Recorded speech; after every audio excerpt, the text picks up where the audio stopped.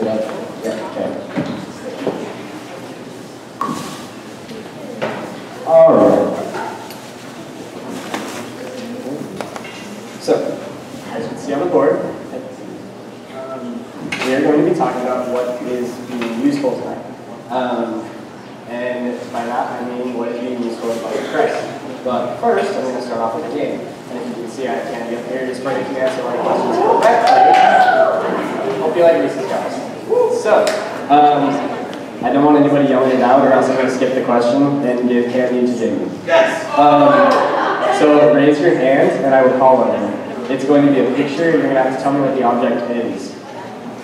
So, first object. Correct.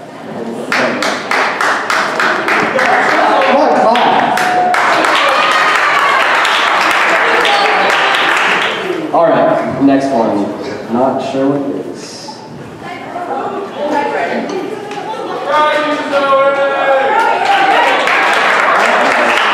Okay, and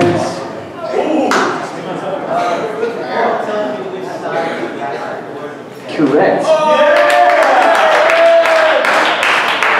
All right, I think this one's hard. No, not hard. Um, sure, yeah. Yep. Eli, do you have this next one? Melody. I think it's um, either a thinking about opening or um, You're not wrong. No. old chocolate printer typewriter thing. No. It's the code. No. No. That is correct.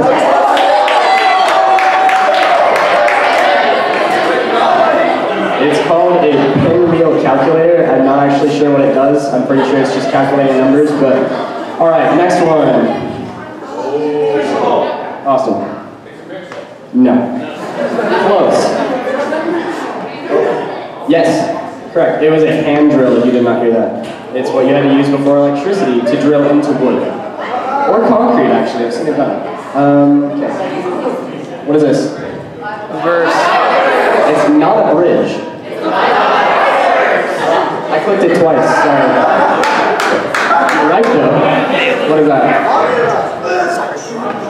Correct. Some aqueduct? Alright, so tonight our lesson is actually based on the aqueducts, but what did all of these have in common? Do any, can you guess? I mean, they were, but now. Yes, they're useful. You're the captain. Oh. Didn't realize I a speaker there.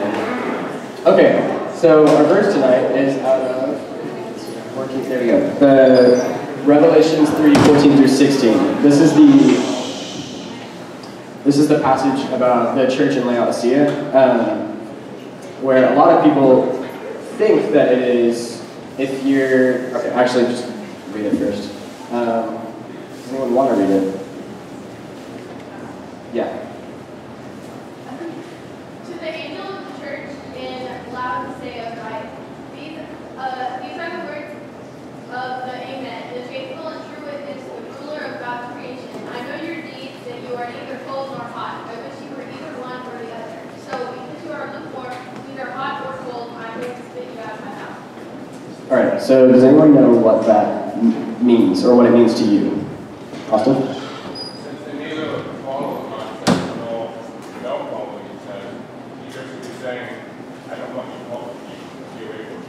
Yes, that is what that is what we've been taught that it means, and that is a correct teaching of it. Um, one, a book that my dad has shown me back there. Um, it's called Misreading Scripture with Western Eyes. Um, we see this scripture and don't actually interpret what interpret what it meant to the church in Laodicea because we didn't live in that time and didn't live around the area and geography of that time. So. Um, So we didn't really understand what it meant. Here, Austin, since you answered. Um, So we don't understand what it meant exactly. The way that you know it isn't wrong, it's just that to the church in Laodicea and meant something different. So in this book it talks about this, um, this passage. And if you, yes, okay, so between Laodicea, there were two cities. One, Colossae, I think that's how it's pronounced at least. And then the other one is Hierapolis up here. Um, and in Hierapolis, they had hot springs. And these hot springs were natural hot springs that could be used for mineral baths or cleaning. And they created calcium deposits that created salt, which was good in its own way. Um, and so this was useful to the church, useful to the people there, to the church there, to just anyone that lived in that city because it was um, salubrious, which meant it was health-giving or pleasant, and it it just helped them. It was useful to that church or to that city. And in Colossae, the other church there, or the other city there, um, they had a fresh water spring, a fresh cold water spring, naturally occurring. Um, and it was it was cold. It was refreshing. You could drink it. Um, it was just it was useful in its own way also. But to get water to the church in Laodicea, they didn't have any naturally occurring water, so they had to have the aqueducts to get them to get it there. To get water from an aqueduct to another city, especially going that far, it is heating up in the sun or it is cooling off in the air when it's the hot water, and so it, by the time it reaches the church in Laodicea here, the church in Laodicea here, going this far, it it gets warm from the cold water or it gets cold from the hot water. So by the time it gets there, it's lukewarm, which is why Jesus says, if you're lukewarm, I will spit you out. Because if you're hot water, you are useful to my body, to the body of Christ, you are useful to my church. If you are cold water, you are also useful to my church in your own way. You are useful both ways, but since you are lukewarm and you do nothing for the body of Christ, I'm going to spit you out of my mouth. So I just thought that was interesting, and so talking about it tonight, um, we're just going to talk about how to be useful and how not to get spit out of his mouth. So another passage in Ephesians 4, 29 through 32. Anyone want to read it? No? Okay, Ashton. Do not let any unwholesome talk come out of your mouth, but only what is helpful for building others up according to their needs, and that may benefit those who listen. And do not grieve the Holy Spirit of God, with whom you are sealed for the day of redemption. Get rid of all bitterness, rage, and anger, brawling and slander, along with every form of malice. Be kind and compassionate to one another, forgiving each other just as Christ God forgave you. Thank you. Yeah, talk. Oh. Okay. Um, so what this is saying is he wants you to either be helpful in building people. He wants you to be helpful in building people up. He doesn't want you slandering people or brawling with people or speaking out of rage and anger and getting mad and saying curse words or things like this. Um, he wants you to be helpful or useful with your words and doesn't want you to hurt people or bring people down. Um, he wants you to be useful to the body of Christ. In here it says, Do not let any unwholesome talk come out of your mouths, but only what is helpful for building others up, according to their needs. So, like Paul does, he was one thing for one person, and another thing for another person, and another thing for another person. He didn't do that just because he was like bipolar or something. He did it because he followed Christ. He did it because he wanted to be useful to Christ, and he did it to help people come to Christ. If he hadn't done that, can you imagine how many people wouldn't have been brought to Christ? How how many churches there wouldn't be today? How if Christ would even be like a thing in our world because Paul didn't wasn't useful? So he wants you to be useful with your words, be kind and compassionate to one another, forgiving each other just as in Christ God forgave you. So, um, yes, I will give chocolate for this question. How can you be useful with your words today, like to, in school, in sports, in etc.?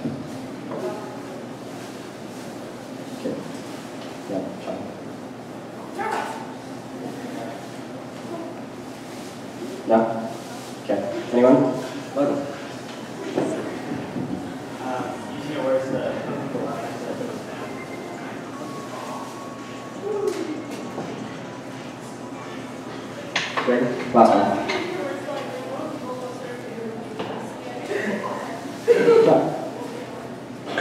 Sorry, she was the last one. You can answer another question. I have more. Um, okay. So yes, all, all of what you said, be positive, build people up, don't bring them down. Uh, bring them to Christ, like invite them to church, like Jamie said. We have empty chairs. Do you see all the empty chairs around you, all the boxes that we had chairs coming. Bring people to church, invite them to church. We're having to bring a friend night, I think, next month is what was said in the leadership meeting. Um, so invite people to that, bring them to it. It's gonna be fun. It's one of those nights that like you can be useful, you can bring them to church and hype it up for them, and then maybe they'll want to come next week, and then next week, and then next week. So going along with this, getting out there, um, next passage is Matthew 5, 13 through 16. Um, you are the salt of the earth, but if the salt loses its saltiness, how can it be made salty again? It is no longer good for anything except to be thrown out and trampled underfoot. You are the light of the world. A town built on a hill cannot be hidden. Neither do people put a light, light a lamp and put it under a bowl. Instead, they put it on a stand, and it gives light to everyone in the house. In the same way, let your light shine before others, that they may see your good deeds and glorify your Father in heaven. So, what this one is saying is, it's talking be useful and don't hide your gifts. Don't hide your spiritual gifts that you have. Don't, if you go out there and you're useful in your sport by showing people that the reason you do it is for God or the reason that you're so good is for God. Like when you, people make a basket in basketball and they look up and they do that, and, or touchdown, stuff like that. Tim Tebow over here, and yeah. Um, so just glorify God in what you have. Speak out, teach, sing. Uh, Hayden Fulkerson, wherever you are, he sing, he gets up here and leads singing. Um, Jamie, Kevin, Mike, you all teach. That's your spiritual gift. You you get out there and you speak, and then Kevin, Mike, Jamie, again, you guys are all you you get in with uh, new people. You you come and you're you're welcoming. You do all this. It's your spiritual gift. You're being useful. You you're not hiding it. You're the salt and light of the earth. You're you're not putting it under a lamp. You're being useful to the people that need it. So then you're you're out here and you do all this. You're showing Christ. Um, um, so you're doing all this. You're showing people Christ. And I used examples like Kevin, Mike, and Jamie, but they have they have jobs here. That's their spiritual gift, and I'm not saying they only do it because it's their job. They obviously love Christ. You can see that in their actions. But in school every day, in sports, and your extracurricular activities, how can you do that in your life? How can you how can you be the salt and light of the earth and not hide it like you like I know it's so easy to do because I, I struggle with that too. I want to hide it. I don't I don't want to be the the Jesus freak or the, the kid that doesn't go to the parties because he, he thinks it's bad because he's a Christian. But how can you, actual question, how can you step out there and be useful to the salt and light of the earth? Actual question. Answer. I'll do what I did last time and not keep going. Do the question again? Okay. Um, what can we do to be useful with our deeds and be the salt and the light of the earth? Get out there and show yourselves and not just be hidden, hide yourself under a bowl and be thrown in the dirt. Yeah? Yeah, yeah. Anyone else? One more. Braxton? Try to create relationships with everybody, um, even if they're not like friends, but just don't let that into your heart, just create relationships. Yeah, that's perfect. If you didn't hear him, I said create relationships. You didn't- No matter, like, no matter who it is, just create a relationship. Melody? There you go. Maybe that'll reach. Yeah. Yeah, that's great. Be kind to people. Love them. Love them who they are. Um, be useful. Be be loving. Be kind. Um, be the salt. Be the light.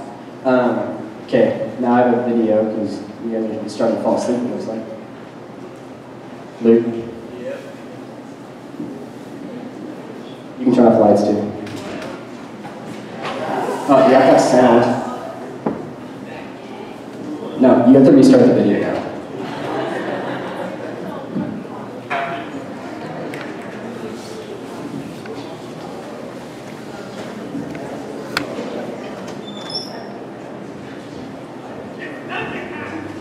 Turn it up.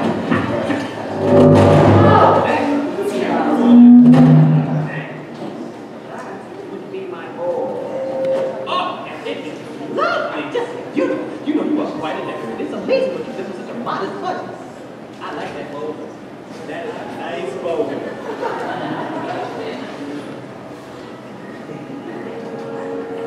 I guess you don't entertain much, do you? I like my privacy. You know I do too. That's another thing we have in common. Like I hate it when you got somebody in your face, you trying to give them a hit, they won't leave. Then there's that big awkward silence, you know. Can I stay with you? What? Can I stay with you, please? Of course. Really? No. Clay, I don't want to go back there. You don't know what it's like to be to the free. Well, maybe you do, but that's why we gotta stick together. You gotta let me stay, please, please. Okay, okay. But what night? Ah, like, ah, what are you doing? Oh, it's gonna be fun. We can stay up late, swap the manly stories in the morning.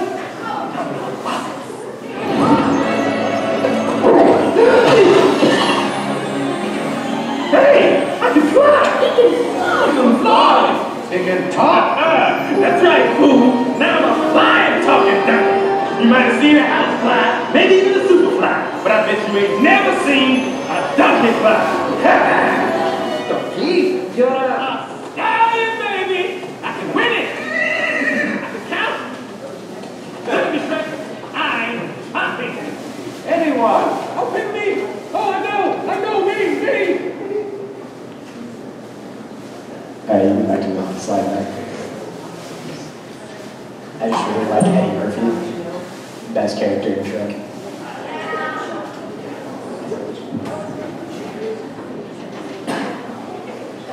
Alright. So, donkey. Um, so, like in Shrek, do you know that there is something that the Bible has in common with Shrek? There is a talking donkey in the Bible. It's not Murphy. Um, does anyone know where that passage is? Anyone? Okay, you saw my PowerPoint. Austin? No. No. It's in the Old Testament. No, Luke, you saw my PowerPoint. Jamie, where is it?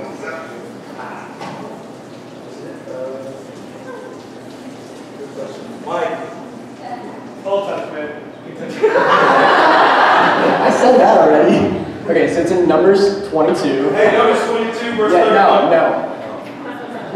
So it's in Numbers 22, verse 31 through 40, 41. It goes all the way till the end. It's all in chapter 22, 21 through to the end. But um, it's Balaam's donkey. Um, I'm pretty sure a lot of people have heard this story before, but um, I'm go, gonna go ahead and read it. Um, when the donkey saw the angel of the Lord standing in the road with a drawn sword in his hand, no, Balaam got, where am I? Balaam got up in the morning, saddled, saddled his donkey, and went with the princes of Moab. But God was very angry when he went, and the angel of the Lord stood in the road to oppose him. Balaam was riding on his donkey, and his two servants were with him.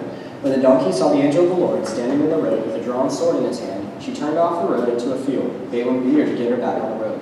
Then the angel of the Lord stood on a narrow path between two vineyards, with walls on both sides. When the donkey saw the angel of the Lord, she pressed close to the wall, crushing Balaam's foot against it, so he beat her again. Then the angel of the Lord moved on ahead and stood in a narrow place where there was no room to turn, either to the right or to the left. When the donkey saw the angel of the Lord, she lay down under Balaam, and he was angry and beat her with his staff. Then the Lord opened the donkey's mouth, and she said to Balaam, What have I done to, to you to make you beat me these three times? Balaam answered the donkey, You have made a fool of me. If I had a sword in my hand, I would kill you right now. The donkey said to Balaam, Am I not your own donkey, which you have always ridden to this day? Have I been in the habit of doing this to you? No, he said. Then the Lord opened Balaam's eyes, and he saw the angel of the Lord standing in the road with sword drawn. So he bowed low and fell down, and fell face down.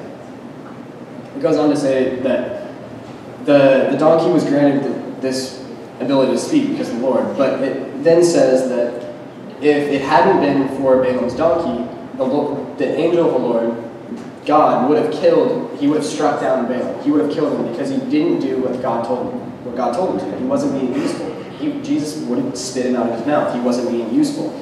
He was supposed to go to this city and preach, preach the Lord. He was supposed to bring people to the church. And, and he wasn't being useful. He was hiding, hiding his life under a bowl. So he, yeah, um, and, but Balaam's donkey was being useful. He was doing what he should. He was, well, she, his girl. Um, she was, she was doing what she needed to. She was saving her master's life, even though she was being beaten. She got beat three times and still, every single time, saved Balaam's life. She could have just thrown him off or thrown him straight to the angel. And God even says, I would have struck you down, but I would have let, left the donkey be. I would have let it go on, and he wouldn't have killed him. And so he, the donkey, is being persecuted. He's being, she is being struck. She's being beaten. She's being, even though she's being useful, Balaam doesn't realize that, but he, he doesn't trust her. He, just like sometimes people don't trust Christians to, to bring them to Christ, even if they're being useful. Um, they persecute them, they beat them, or like in the in the Bible, they, they stone them. Like Paul, he, he was being useful in the body of Christ. He was bringing people to Christ. He was creating a ton of churches, but yet people beat him, they stoned him, they whipped him, they flogged him or something. They put him in jail, and eventually he, he died. They killed him, but um, he yet went through all of this persecution because he believed in what he was he was teaching. He believed in it. He was being useful. He knew what was going to come out of his being useful. And that is being with the Lord in heaven, going to heaven, not being spit out of Jesus' mouth, going to hell or uh, dying, even though he did die, he went up to heaven. He didn't just get thrown into hell because he died. He was being useful. No matter what he had done, God forgave him, just like we're supposed to do with our words. We're supposed to forgive like just like God did, and with our words and help people with our words, just like Paul was doing. But even if we're persecuted, just like in the Middle East with ISIS or all those all terrorist groups that are hurting Christians and beating Christians or beheading Christians, we are still supposed to be Christians. We are supposed to be useful to Christ and bring them bring them to the church and be one church of God.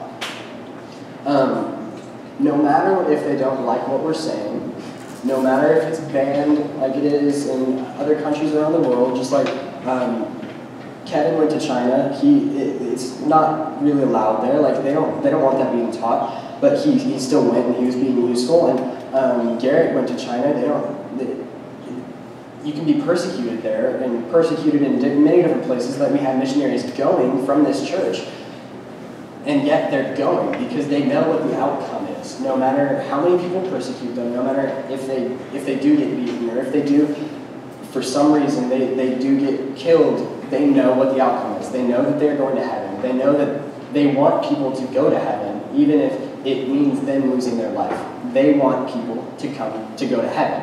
And because they don't want to wish hell on anyone, no matter what they're doing, even if they're the ones persecuting them. Just like Balaam's donkey, she even though she was beaten, she didn't let him die. She still crushed his foot and got beaten again. She still laid it down on him and got beaten again. No matter what was happening, she still was trying to be useful and save his life, just like we're called to do. We are called to be useful in school, in sports, and even in church. You might get persecuted at church, and that's horrible, but it, it still might happen. Um, you can be uh, people won't be your friend because you're a Jesus freak, or they won't invite you to parties anymore, or you might be in the, um, not in that certain clique or social group because you're a Christian, you're weird, or um, you don't do the same things we do. But and that's that's persecution. It might not be as extreme as getting beaten or executed, but it's still persecution. Um, but and you can still be useful through that. You can still show them love. You can forgive what they're doing, and still invite them to church, or still just show them love even if they're hitting you, turn the cheek and be useful, forgive them. I'm not saying let people beat you, but um, just be useful to that cause. So, this question is, you don't have to answer I'm just going to leave you with this question. What can you do in your life, in school, in church, in sports in band and choir and whatever you do in your life, no matter what it is, what can you do in your life to be useful for Christ, to show your light, to, to be the salt of the earth, not hide your hide the city on a hill. You can't hide a city on a hill, so don't hide your, your belief. What can you do to build someone up instead of bring them down in your life and be useful to the body of Christ so that you are not spit out of Jesus' mouth?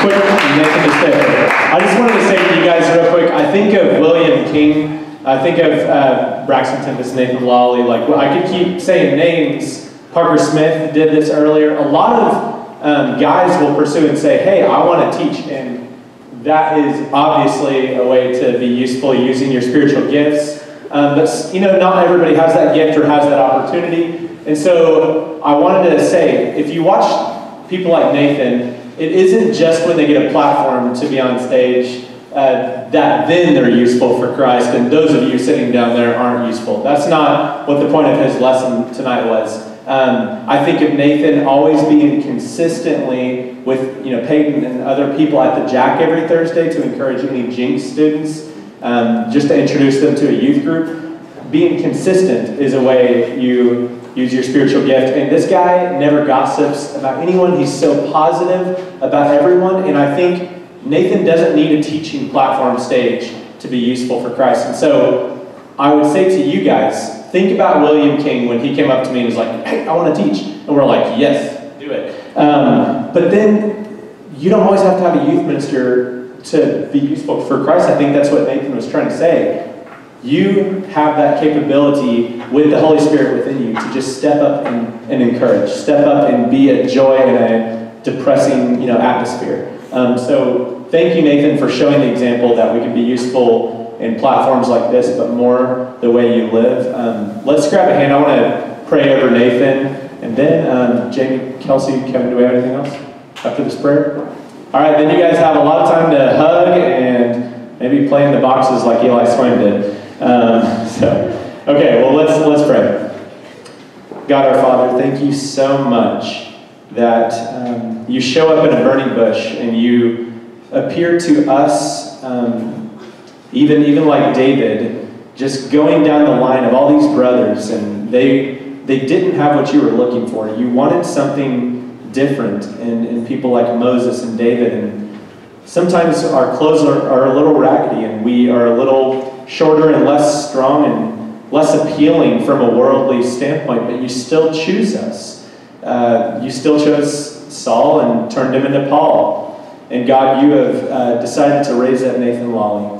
Um, and God, Nathan wanted to humbly share your word, knowing that it's not about him, it's about Christ and about making this life that we're given just to be an outpouring of thanksgiving and gratitude for Jesus' death on the cross for us. So thank you for Nathan's example tonight of being courageous and teaching your word. Um, but help the teens and the adults in this room to heed your word and Nathan's message that we are all supposed to stand out and not hide this light that you've put within us.